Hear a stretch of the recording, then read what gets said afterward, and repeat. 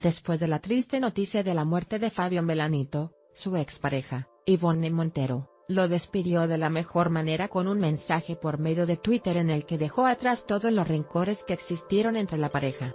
Solo agradecerte lo mejor de mi vida. Ella siempre ha sabido de ti.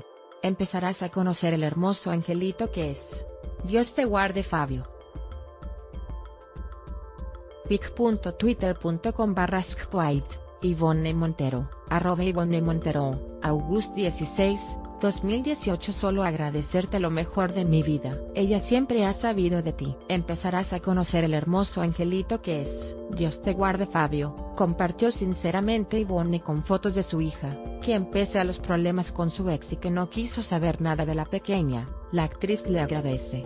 La muerte de Fabio ocurrió ayer, 15 de agosto en la colonia Narvarte, aparentemente en un asalto. El venezolano preparaba el próximo año el reencuentro del grupo que tiene éxitos como Brujería y Ya lo ves.